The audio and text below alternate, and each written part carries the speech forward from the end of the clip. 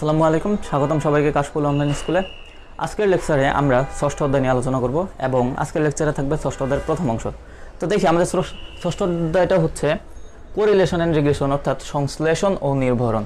তো সংশ্লেষণ এবং নির্ভরণ জানার আগে আমাদেরকে জানতে হবে দ্বিচলক তথ্য। তো দ্বিচলক তথ্য কি? আমরা এতদিন যেমন বিস্তার এবং কেন্দ্রীয় প্রবণতায় যেগুলো আলোচনা করেছিলাম, সেগুলো কিন্তু একচলক তথ্য। অর্থাৎ আমরা একটা মান, যেমন আমরা এক্স একটা মান ধরেছি, এই মান নিয়ে আমরা কাজ করেছি। কিন্তু দ্বিচলক তথ্য মানে এখানে আমাদের দুইটা মান থাকবে, অর্থাৎ এক্স এবং ওয়াই। এরকম দুইটা চলক থাকতে পারে যে অন্য যে কোনো কিছু দ্বারাও আমরা এটাকে প্রকাশ করতে পারি।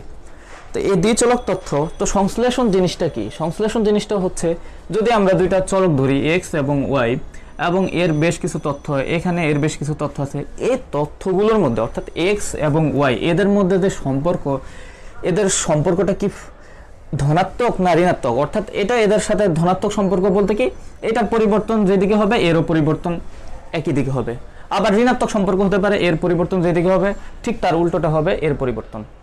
তো এই ধনাত্মক বা ঋণাত্মক সম্পর্ক নির্ধারণের জন্যই আমাদের প্রয়োজন সংশ্লেষণ। তো সংশ্লেষণ মানেই হচ্ছে কোনো একটা দ্বিচলক তথ্য সারণীর চলকদের মধ্যে ধনাত্মক বা ঋণাত্মক সম্পর্কটাই হচ্ছে আমাদের সংশ্লেষণ। তো সংশ্লেষণ দুই ধরনের হয় সাধারণত, একটা হচ্ছে সরল সংশ্লেষণ আর একটা হচ্ছে বহুদা সংশ্লেষণ।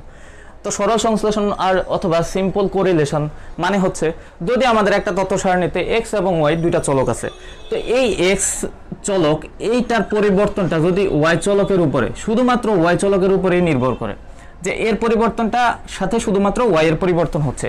তাহলে এটাকে বলা হয় সরল সংশ্লেষণ, অর্থাৎ একটার জন্য একটাই পরিবর্তন হচ্ছে। আর বহুদা সংশ্লেষণ বা মাল্টিপল কোরিলেশন বলতে বোঝায়, যেটার ক্ষেত্রে যেমন আমরা যদি ধরে নিই এক্স একটা চলক, এই চলকের সাথে যদি শুধুমাত্র ওয়াই চলক নয় অন্য আরও কিছু চলক সম্পর্কিত এবং ওই চলকগুলো পরিবর্তন হচ্ছে, তখন তাকে বলা হয় বহুদা সংশ্লেষণ বা মাল্টিপল কোরিলেশন অর্থাৎ একটার পরিবর্তনের জন্য আমাদের যদি অনেকগুলোর পরিবর্তন হয়। তো এবার আসি আমাদের সরল সংশ্লেষণের কিছু প্রকারভেদ। তো সরল সংশ্লেষণের প্রকারভেদগুলোর মধ্যে আছে আংশিক ধনাত্মক সংশ্লেষ। আংশিক ধনাত্মক সংশ্লেষ মানে কি? যেমন আমরা এক্স এবং ওয়াই দুইটা চলক যদি ধরি, তো এক্সের এর এক চলক পরিবর্তনের জন্য বা একটি মান এক্সের একটি মান পরিবর্তনের জন্য ওয়াই এর যদি আংশিক পরিবর্তন হয়, সম্পূর্ণ একটি মান পরিবর্তন হয়, যদি আংশিক পরিবর্তন হয়, তাহলে সেটাকে বলে আংশিক ধনাত্মক সংশ্লেষ।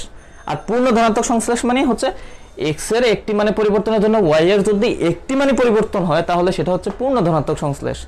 আংশিক ঋণাত্মক সংশ্লেষ হচ্ছে, এটা হচ্ছে বিপরীত পরিবর্তন। অর্থাৎ এক্সের যেদিকে পরিবর্তন হবে ঠিক ওয়াই এর তার উল্টো পরিবর্তন হবে, তবে পূর্ণ নয়, অল্প পরিবর্তন হবে ওয়াই এর। তাহলে সেটাকে বলা হয় আংশিক ঋণাত্মক। আর পূর্ণ ঋণাত্মক একইভাবে যদি এক্সের পুরো পরিবর্তনের সাথে ওয়াই এর যদি উল্টো পুরো পরিবর্তন হয়, তখন সেটাকে বলা হয় পূর্ণ ঋণাত্মক সংশ্লেষ। এবার আমরা আসব সংশ্লেষাঙ্ক জিনিসটা কি আসলে? সংশ্লেষাঙ্ক মানে হচ্ছে কি? আমরা এতক্ষণ সংশ্লেষ জেনেছি, তো এবার আমরা জানব যে আসলে সংশ্লেষটা কতটুকু? এই সংশ্লেষ দিয়ে আমরা বুঝতে পারি না যে আসলে কতটুকু এদের মধ্যে সম্পর্ক আছে। এই সম্পর্ক কতটুকু আছে তার নির্ধারণের জন্যই আমাদের সংশ্লেষাঙ্ক বের করতে হয়। সংশ্লেষাঙ্ক সম্পর্কে কার্ল পিয়ারসন একটি গুরুত্বপূর্ণ একক দিয়েছেন এই সংশ্লেষাঙ্কের এবং সংশ্লেষাঙ্ক নির্ণয় করার পদ্ধতি হচ্ছে কার্ল পিয়ারসন পদ্ধতি অনুসারে সংশ্লেষাঙ্ককে আর দ্বারা প্রকাশ করা হয়, যেহেতু relation r x y equal sum of x i minus x bar into y i minus y bar divided by sum of x i minus x bar whole square plus into y i minus y bar sum of y i minus y bar whole square তো এটাই হচ্ছে আমাদের সংশ্লেষাঙ্কের। Curl পিয়ারসনের তথ্য অনুসারে আমাদের এই সংশ্লেষাঙ্ক নির্ণয় করার পদ্ধতি হচ্ছে এটা। এক্ষেত্রে আমাদের এই সংশ্লেষাঙ্কের মানটা কত হতে পারে? সংশ্লেষাঙ্কের মানটা নির্ভর করে হচ্ছে মাইনাস ওয়ান থেকে ওয়ান পর্যন্ত। অর্থাৎ সংশ্লেষাঙ্কের সর্বনিম্ন মান মাইনাস ওয়ান হতে পারে আর সংশ্লেষাঙ্কের মান সর্বোচ্চ মান ওয়ান হতে পারে। এখন দেখি, এই যে আমরা যে আংশিক ধনাত্মক এবং আংশিক ঋণাত্মক সংশ্লেষ পূর্ণ ধনাত্মক, পূর্ণ ঋণাত্মক সংশ্লেষ আমরা পড়েছি, তো সেই ক্ষেত্রে আমাদের সংশ্লেষাঙ্কর মান কি? আংশিক ধনাত্মক সংশ্লেষাঙ্ক মানে হচ্ছে আমাদের আর এর মানটা লেস দেন ওয়ান থাকবে এবং চেয়ে বড় হবে। আর পূর্ণ ধনাত্মকের ক্ষেত্রে আর এর মানটা সম্পূর্ণ ওয়ান থাকবে। এবং আংশিক ঋণাত্মকের ক্ষেত্রে আর এর মানটা মাইনাস ওয়ান ওয়ানের চেয়ে ছোট হবে এবং যে জিরো এর চেয়ে মাইনাস ওয়ানের চেয়ে বড় এবং জিরো এর চেয়ে ছোট হবে। আর পূর্ণ ঋণাত্মক মানে আর এর মানটা সম্পূর্ণই মাইনাস ওয়ান থাকবে। তো এবার আসি আমরা শূন্য সংশ্লেষ বা ননসেন্স কোরিলেশন বা জিরো কোরিলেশন এটাকে ননসেন্স কেন বলা হয় বা জিরো কোরিলেশন কেন বলা হয় সেটা থেকে শূন্য সংশ্লেষ মানে হচ্ছে এক্সের কোনো পরিবর্তনের সাথে, অর্থাৎ একটা তথ্য সারণীতে যদি আমাদের এক্স এবং ওয়াই দুইটা চ- চলক থাকে, এই চলকের এক্সের যদি কোনো পরিবর্তনের সাথে ওয়াই এর কোনো পরিবর্তন হয় না, অর্থাৎ ওয়াই এর সাথে তার কোনো সম্পর্কই নেই, তাহলে সেটাকে বলা হয় শূন্য সংশ্লেষ। যেমন একটা উদাহরণ দিয়ে যদি বলি, আমাদের একটা স্টুডেন্টের রেজাল্ট কেমন হবে? তার সাথে নিশ্চয়ই বাজারে কোনো দ্রব্যের দামের সম্পর্ক থাকতে পারে না। তো এই ধরনের যদি আমরা সম্পর্ক নির্ণয় করতে চাই, তাহলে সেক্ষেত্রে সেটাকে বলব আমরা শূন্য সংশ্লেষ। এবার আসি আমরা বিক্ষেপ চিত্র। বিক্ষেপ চিত্র আসলে কি? বিক্ষেপ চিত্র হচ্ছে সংশ্লেষাঙ্কের মানটাকে যদি আমরা যদি কোনো গ্রাফে রিপ্রেজেন্ট করি, তাহলে যে চিত্রটা আসবে সেটাকে বলা হয় বিক্ষেপ চিত্র। তো বিক্ষেপ চিত্র আমরা সাধারণত আংশিক ধনাত্মক সংশ্লেষ, পূর্ণ ধনাত্মক সংশ্লেষ, আংশিক ঋণাত্মক সংশ্লেষ, পূর্ণ ঋণাত্মক সংশ্লেষ এবং সর্বশেষ শূন্য সংশ্লেষের জন্য আমরা বিক্ষেপ চিত্রটাকে দেখাবো।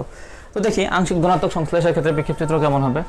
ধরলাম, এটাই হচ্ছে আমাদের ডায়াগ্রাম এখানে এক্সের মান আর এখানে ওয়াই এর মান আছে। তো আমাদের মানগুলো আমরা যদি সাজাই, যে আংশিক ধনাত্মক সংশ্লেষের জন্য, যেহেতু আর এর মানটা এক চেয়ে ছোট, তাই আমাদের এরকম একটা চিত্র আসবে সাজালে। তো এই ক্ষেত্রে আমরা কীভাবে আমাদের সরলরেখা টানবো? দেখব আমরা সর্বোচ্চ ডট যেখানে আমাদের আসে, যে সর্বোচ্চ ডট আমার মনে হয় এটাতেই আসবে। তো এই সর্বোচ্চ ডটগুলো যোগ করে যে আমাদের সরলরেখা আসবে, সেটাই হচ্ছে আমাদের এই ক্ষেত্রে হচ্ছে আমাদের ডায়াগ্রাম তো এটাই হচ্ছে আমাদের আংশিক ধনাত্মক সংশ্লেষের জন্য বিক্ষেপ চিত্র। এবার আসি আমরা পূর্ণ ধনাত্মক সংশ্লেষের জন্য।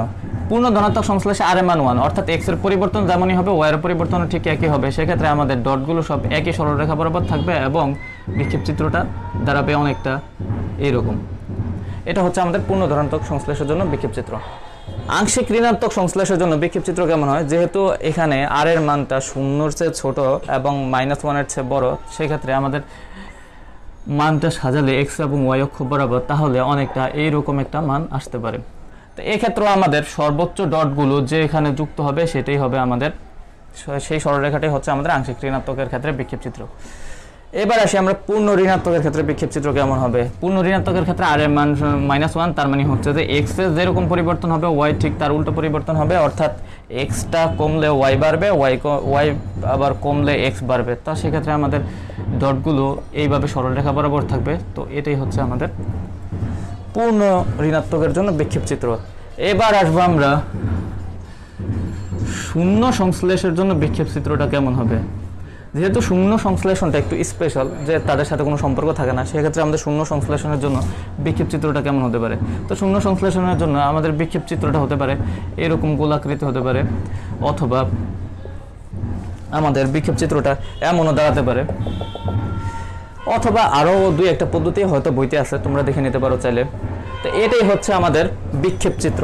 এবার আমরা আসব সংশ্লেষাঙ্ক, অর্থাৎ আর এক্স ওয়াই এর কিছু ধর্ম নিয়ে আমরা আলোচনা করব। তো আর এক্স ওয়াই ধর্ম কি?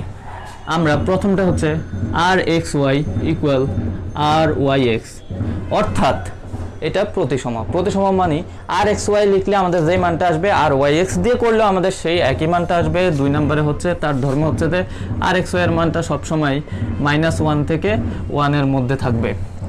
এবং আমাদের আর এক্স ওয়াই এর ক্ষেত্রে আরেকটা সূত্র আছে।